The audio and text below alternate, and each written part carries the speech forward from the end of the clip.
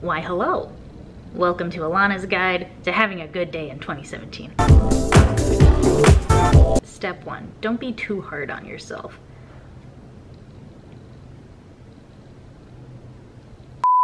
Number one, unplug. You don't have to know what's going on in the world all the time. Ignorance is bliss. Number two, interact with some animals. Petting dogs and cats has been scientifically proven to lower stress levels. If you have an animal, good job, you're already one step ahead. If you don't, go find one, foster a kitten. Everything is gonna be fine. If that's not enough, foster two kittens. Oh my gosh, I have two friends now. Another way to feel good is to eat all of your feelings. Do a meditation. I recently found this guide to having a good day, and it starts with a breathing exercise. And then you spend some time being really grateful for three things that you have. Um, because when you're grateful, you can't be angry and you also can't be afraid. This is a serious tip, unlike, you know, everything else. I'll put the link to that down here somewhere for you to find. Don't check your bank account.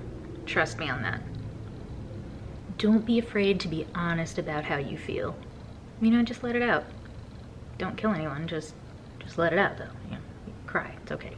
Hold a lot of money. Scientific studies have shown that by holding dollar bills of any numeration, people actually start to feel better, even if it's not their own money. So go find a $20 bill and hold it. It might make you feel better.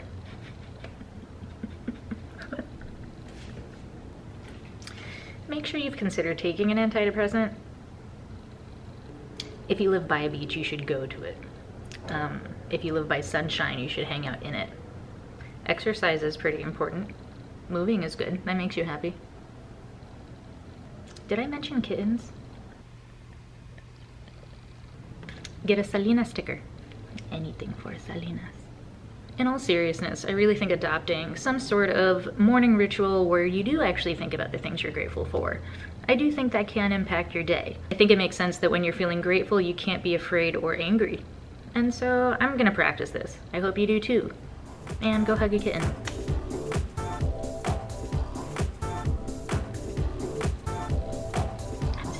Cool.